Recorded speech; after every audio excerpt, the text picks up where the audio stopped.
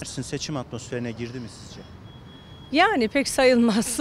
Peki Mersin hangi ilçesinde oturuyorsun? Yenişehir. Yenişehir'desin. Peki Yenişehir Belediyesi'nin çalışmalarına memnun musunuz? Yani genel olarak memnunum. Peki Büyükşehir'de oyunuzu kime vereceğinize karar verdiniz mi? Verdim. Ee, Kime vereceksiniz? Hamit Tuna'ya vereceğim. Neden Hamit Tuna? Hamit Tuna'ya vereceğim. Neden? CHP'li değilim. İyi Partili de değilim. MHP'liyim. Hani Burhanettin Kocamaz'ı eğer MHP'den aday gösterselerdi Burhanettin Kocamaz'a Peki verecektim. Burhanettin Kocamaz'ın çalışmalarından memnun muydunuz?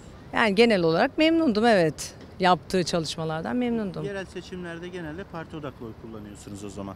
Yani sadece parti odaklı değil, şahıs odaklı da ama hani Burhanettin Kocamaz'ın aday olduğu parti iyi Parti olduğu için Burhanettin Kocamaz'a vermiyorum aslında. Eğer Burhanettin Kocamaz AK Parti'den aday olsaydı AK Parti'ye verirdim.